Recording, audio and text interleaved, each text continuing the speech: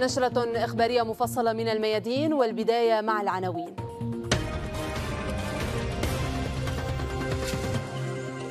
أكثر من مليون ناخب جزائري في الخارج يدلون اليوم بأصواتهم في الانتخابات الرئاسية ومواجهات جديدة بين العرب والأمازيغ.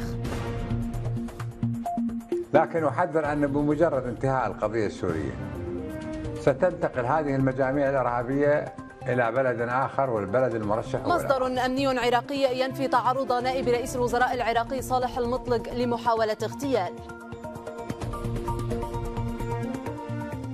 عملية للجيش السوري تقتل قائدا للنصرة في القلمون والأنظار تتجه نحو قرية عسال الوارد بعد رنكوس. وفاة الكاتب والصحفي البريطاني باتريك سيل مؤلف كتاب الصراع على الشرق الأوسط.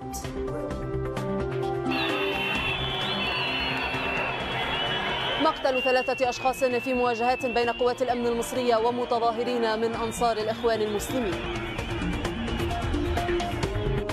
السلام عليكم. أكثر من مليون ناخب جزائري في الخارج يتوجهون اليوم إلى صناديق الاقتراع للمشاركة في الانتخابات الرئاسية التي تشهدها الجزائر في السابع عشر من نيسان أبريل الجاري. وزير الخارجية الجزائري رمضان العمامرة كان قد أعلن تهيئة حوالي 400 مكتب لاستقبال ناخبي الخارج.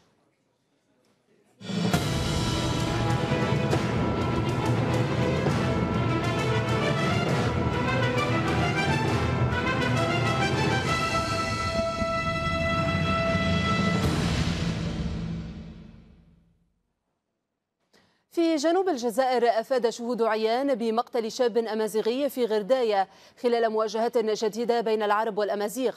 ونقلت وكالة الأنباء الجزائرية عن مصدر طبي أن عشرة أشخاص بينهم عنصران في الشرطة أصيبوا في المواجهات التي اندلعت بعد صلاة الجمعة في أحد المساجد في بريان شمال غرداية. أبلت النساء الجزائريات بلاء حسنا خلال ثورة التحرير برزت أسماء الكثيرات منهن وكانت جميلة بحيرد الأرسخ بالذاكرة العربية. رغم ذلك سلمنا جميعا مشعل الحرية لجيل الاستقلال لبناء الجزائر. فكانت أسماء أخرى في عالم السياسة نستعرضها مع دلول حديدان. لا تمثل المرأة الجزائرية نصف المجتمع وحسب بل هي نصف تاريخه أيضاً. لمشاركتها في تحرير البلاد ونصف سياسته لاعتلائها المناصب المشغولة لعقود من قبل الرجال. خلال أول مرحلة بناء وتشييد وجهت المرأة لإعمار المجتمع على نحو ما خولتها إياه الفطرة فلم نسمع تاء تأنيث واحدة في حكومات الرئيسين الراحلين أحمد بن بلة وهواري بومدين مع مطلع ثمانينات القرن الماضي كانت زهور نيسي أول امرأة تستوزر في تاريخ الجزائر بحقيبة الشؤون الاجتماعية وحافظت على اللقب مع تغير الحكومات حتى جلست على مقعد وزارة التربية والتعليم عام 86 فضلا عن مناصب أخرى تقلدتها بعد الخروج من الحكومة حجزت بها أمكنة لرفيقاتها في الساحة السياسية. عام 90 رسمت السياسية اليسارية لويزا حنون طريقا آخر للمرأة في الحياة السياسية إذ أسست حزب العمال الذي فتح آفاقا أخرى للمرأة الجزائرية من خلال تمكينه حنون من نيل لقب أول سيدة عربية تترشح لمنصب رئيس الجمهورية عام 2004 وعاودت الكرة عام 2009 و2014 مع مطلع القرن الحالي صارت النساء الجزائريات ممثلات لأبناء الشعب بالوصول إلى المجالس النيابية ورفع نسبة تمثيلهن عام 2012 إلى 30% بعد هذا التعديل صارت الجزائريات يحتللن المرتبة الخامسة والعشرين وفق التصنيف العالمي الخاص بمشاركة المرأة في البرلمان قبل فرنسا عالميا وتونس عربيا. you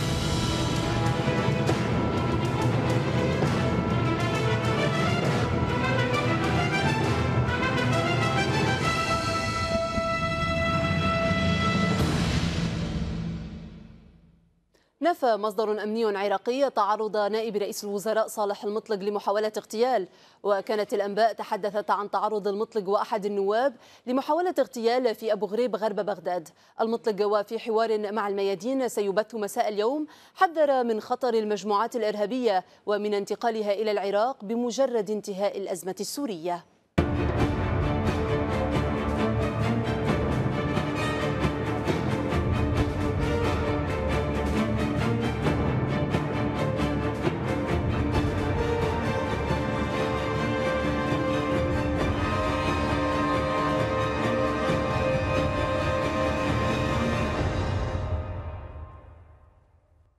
لكن أحذر أن بمجرد انتهاء القضية السورية ستنتقل هذه المجاميع الإرهابية إلى بلد آخر والبلد المرشح هو العراق.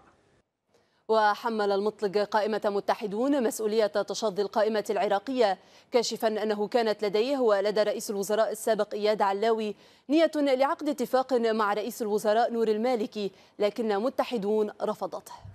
اقترحت على الأخوة في العراقية. في ذلك الوقت دعونا نتفق مع دولة القانون. نحن القائمة الأكبر 91 وهم 89 نشكل أغلبية مريحة. تستطيع أن تمرر الأمور بدون مناكفات مثل ما تحصل الآن. وعند ذلك أيضا يكون لنا القدرة على أن نكون شركاء حقيقيين في القرار لأنه مجرد انسحاب من الحكومة تسقط الحكومة. لأنه أنت تتكلمين عن 91 والمالك بوقتها وافق بصراحة.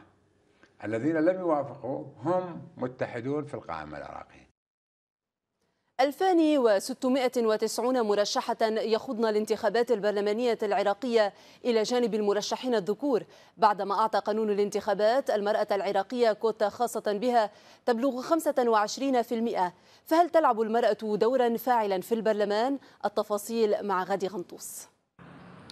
صور المرشحات للانتخابات البرلمانية تملأ الشوارع.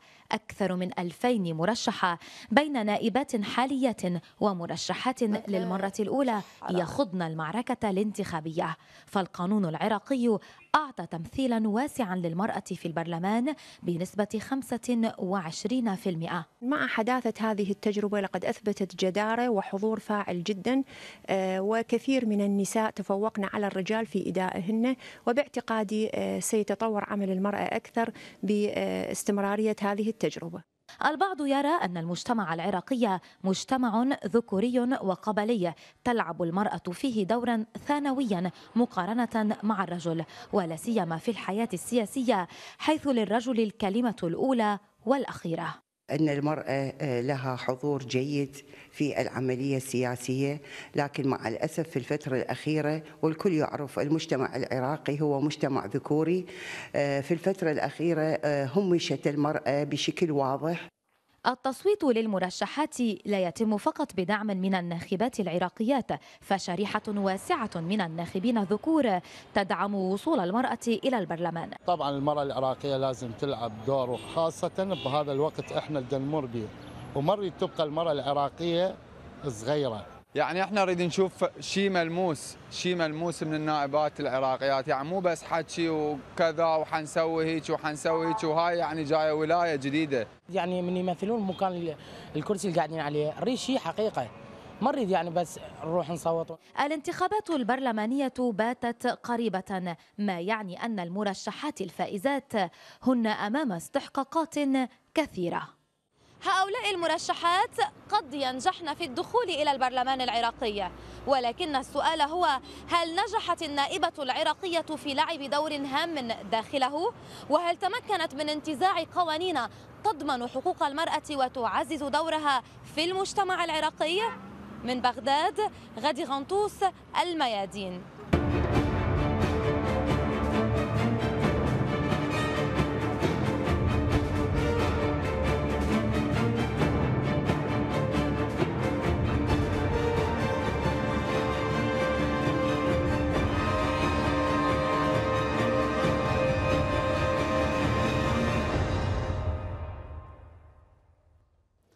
أسفر قصف بقذائف الهاون على الأحياء الغربية لمدينة حلب عن استشهاد 12 مدنيا. بينهم خمسة أطفال وسيدتان. كما أصيب نحو 50 شخصا بجروح. وفي ريف دمشق صدت فصائل فلسطينية هجوما لمجموعات مسلحة على مخيم خان دانون. شارك فيه مئات المسلحين من لواء جند الله ولواء الإسلام وحركة أحرار الشام. وفي القلمون قتل قائد جبهة النصرة في بلدة الصرخة المدعو أحمد يزبك درغام وتسعة من مقاتليه في عملية خاصة للجيش السوري ماذا بعد رنكوس؟ إنه سؤال بدأ يفرض نفسه مع حسم الجيش السوري المعارك الكبرى في القلمون تحديدا في يبرود ورأس العين ورأس المعرة وفليطة الأعين تتجه اليوم إلى البلدة الأقرب إعسال الورد إلى الشمال من رنكوس وربما باتجاه مدينة الزبداني غربا باتجاه الحدود السورية اللبنانية حيث أخفقت محاولات إطلاق المصالحات خلال الأشهر الماضية مع أن التوجه إلى الزبداني قرب الحدود مع لبنان قد يتأخر إلى مرحلة لاحقة بالرغم من توجه مئات المسلحين من رنكوس إلى تلك المدينة. على الأرض بدأت عمليات التسخين في إعسال الورد. لم يختلف المشهد كثيرا في رنكوس عنه في المناطق التي سبقتها. جرود جبلية قاسية مثلت نقاط دفاع استخدمتها جبهة النصرة وألوية الجيش الحر.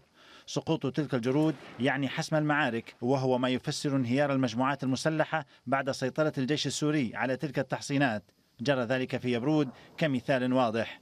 زخم التقدم القلموني والانهيار المتتالي في صفوف المجموعات المسلحة يدفعان الجيش السوري إلى المضي قدما وحسم ملف القلمون نهائيا.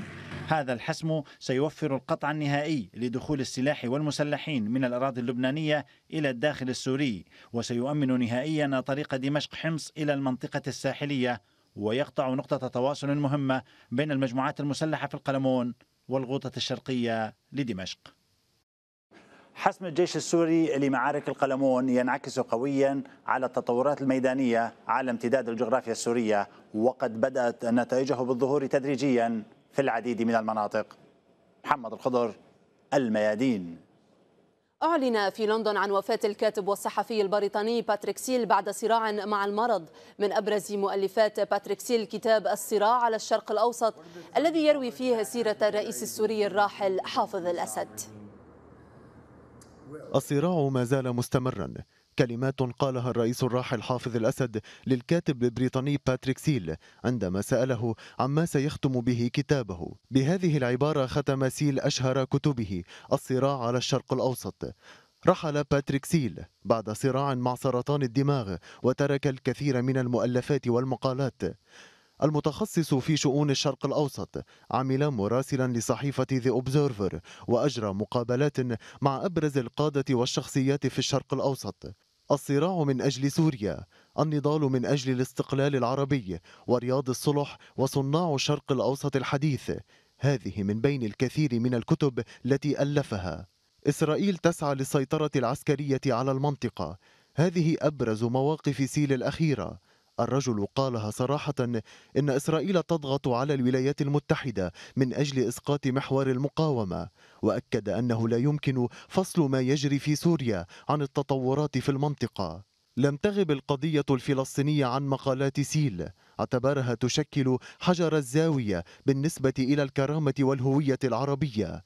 الكاتب قال إن الدول العربية الثرية عجزت عن استخدام تأثيرها على الولايات المتحدة وأوروبا للمطالبة بالعدالة للفلسطينيين. واعتبر حل الدولتين أصبح ساقطا عمليا كما لوح بهزيمة فادحة للعرب تكمل هزيمة عام 48 انضم سيل إلى وكالة الأنباء العالمية.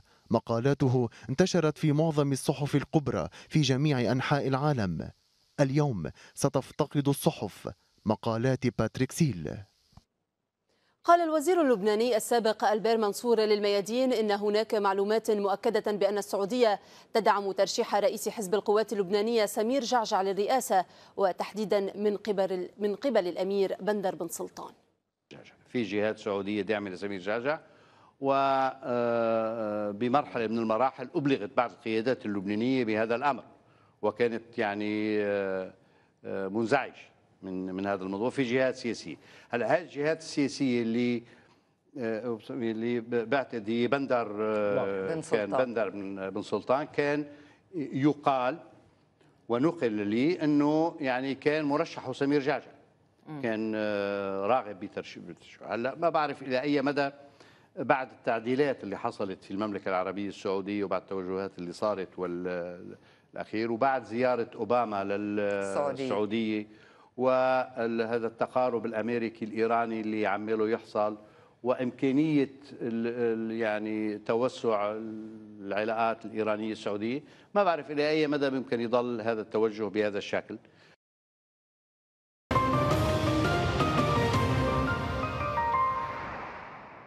اتهمت جماعة الإخوان المسلمين المصرية الحكومة الحالية بالافتراء والكذب على خلفية تصنيف الجماعة ضمن قائمة التنظيمات الإرهابية. وأمس خرجت تظاهرات محدودة لأنصار الإخوان في عدد من المحافظات المصرية. قوة الأمن تصدت للتظاهرات التي شهدت اشتباكات أسفرت عن مقتل ثلاثة وعدد من الإصابات. من جديد تتحرك جماعة الإخوان المسلمين بتظاهراتها على الأرض. تظاهرات وإن كانت محدودة إلا أنها تتحدى قرارا صدر من مجلس الوزراء بمعاقبة كل من ينضم للإخوان أو يشترك في فعالياتهم بالعقوبات المقررة لجريمة الإرهاب. قرار لم يمنعهم من ترديد نفس مطالبهم بإسقاط ما وصفوه بحكم العسكر وعودة الشرعية. المشكلة في مصر ليس لها حل إلا حلا سياسيا ومش ممكن أن يتم حلها بالأسلوب الأمني وبالأسلوب القمعي وب... وعبر القضايا والسجون والمعتقلات. لابد من حل سياسي ويكون في ما يكونش في إقصاء لأي من القوى الموجودة. لأن آراء الشارع المصري تباينت حول تظاهرات الإخوان المسلمين في ظل القرار الحكومي الأخير. ناس بتخرب ناس بتهد في البلد. وبعدين القانون ده كان أصول يتطبق من زمان من قبل محلب من أيام رئيس الوزراء اللي فات.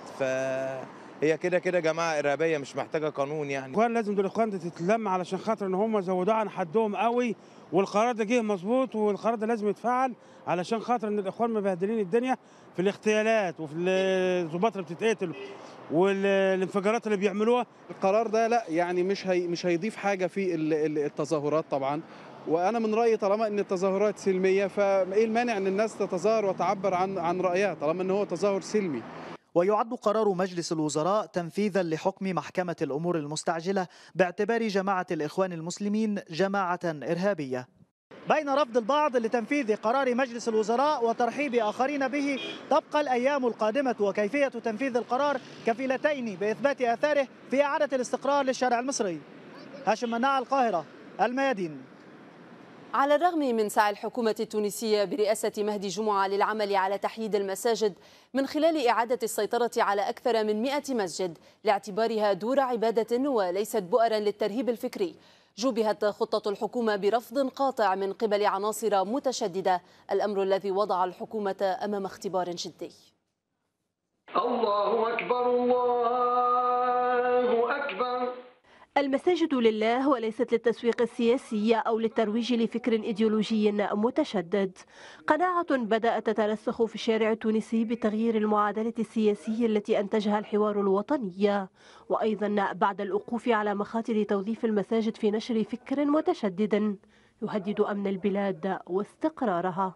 يلزم المساجد يقعدوا بعاد على السياسة جملة المساجد مشغولين للقيام بالشؤون الدينية. لازم يكون فيها توعية دينية. إذا كان باش نحيدوا المساجد هات خلينا نرجعوا للأصل. الدين متاعنا. est-ce que في الأصل كي نرجع للرسول صلى الله عليه وسلم مارس السياسة ولا لا؟ كان يمارس في الدين متاعه ولا لا؟ donc ما نجموش نفصلهم على بعض.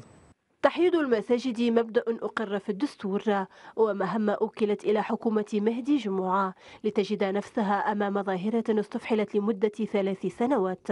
وبحسب المختصين فقد ساهمت بعض الخطب الدينية في نشر مفاهيم خاطئة تصف الحاكم بالطاغوت ويكفر أصحابها كل من يخالفهم الرأي وتتوعد بإقامة دولة الخلافة وتطبيق أحكام الشريعة وفق رؤيتهم. التعامل مع هذه الظاهرة لا ليس تعاملا عاديا لأن هؤلاء الأشخاص لهم قناعات إيديولوجية راسخة. هم يعتبرون كل من هو خارج مجموعتهم هو من الطاغوت وبالتالي من المفهوم أو من الواضح أن هؤلاء سيكون رد فعلهم عنيفا. اختبار جدي تخوضه حكومة جمعة. رهانه استعادة هيبة الدولة وبسط السيطرة على كل المساجد والدفع نحو منع استخدامها في الاستقطاب السياسي قبل تنظيم الاستحقاق الانتخابي المقبل. حزم الدولة لوضع حد لعنف الجماعة المتشددة. صراع عنوانه السيطرة على المساجد ونشر الخطاب الديني. معركة بدأت فصولها الأولى تطفو على السطح والمؤكد أن حسمها سيتطلب كثيرا من الجهد. سميحة البغانمي تونس الميادين والآن جولة على أبرز عناوين. بعض الصحف العربية الصادرة صباح هذا اليوم مع سارة الحاف. صباح الخير من جديد سارة. يعطيك العافية وفا صباح الخير مشاهدينا جولتنا نبدأها مع صحيفة البناء اللبنانية وفيها شعبان تنفي ما نقل عنها عبر حساب مزور على فيسبوك. موسكو الأزمة الأوكرانية لم تؤثر في تعاوننا مع واشنطن بخصوص سوريا. ونقرأ في صحيفة البناء في الشأن العراقي نجاة المطلق والزوبع من محاولة اغتيال غرب بغداد. مقتل 12 داعشيا بينهم القيادي أبو عائشة الليبي الجنسية. مسيرة في المنامة وقمع لساحة الحرية. وفي الشأن اللبناني الداخلي حرب الفوائد والضرائب مع المصارف تنتهي إيجابا. بري رئيسا للمحرومين. الميزان الرئاسي للسلسلة والخطة الأمنية يرفع أسهم قهوجي في وجه سلامة. إلى صحيفة الشرق الأوسط التي جاء فيها محاولة لاغتيال صالح المطلق برصاص عسكريين. نائب رئيس الحكومة العراقي استنكر لهذه الصحيفة العملية. الغرب يتقصى استخدام الأسد للكيميائي بريف دمشق. المتحدثة باسم مجلس الأمن القومي للشرق الأوسط نأخذ الأمر بجدية. وأيضا في هذه الصحيفة تأهب أمني في أسوان اليوم والهدنة أمام اختبار مقتل ثلاثة في مواجهات مع الإخوان وتطمينات أوروبية للسيسي. صحيفة الدستور العراقية عنونت قيادة خاصة تدرس خطة سحق داعش الفلوجة بعد إغلاق السد مجددا. طلعات جوية ترسل متمردي العزام وانتحاري الجسور إلى جهنم. المرجعية تحرم الضغط على الناخبين خلاف إرادتهم وجهت بعدم اختيار من يكون مقربا لعشيرته ولأقربائه. وفي صحيفة الدستور اشتباكات دامية بين أنصار برزاني وطالباني على خلفية التنافس الانتخابي بين الحزبين. صحيفة الوسط البحرينية جاء فيها وزير الخارجية العماني قال إن الخلافات الخليجية ليست دائمة وعلى البحرينيين أن يتفقوا. الداخلية قالت إصابة شرطي في تفجير بده. إلى أخبار الجزائر وصحيفة البلاد جاء فيها بوتفليقة يغير أوراق اللعبة ويحيى يخلف سلال في مخاطبة الرأي العام. أخطر أسبوع ينتظر غرداية توسع رقعة المواجهات وانتقالها إلى بريان. إلى صحيفة الدستور لكن هذه المرة الأردنية وجاء فيها بجهود أردنية فلسطينية مشتركة ودعم عربي إسلامي. اليونسكو تطالب إسرائيل بعدم تغيير الوضع بالقدس.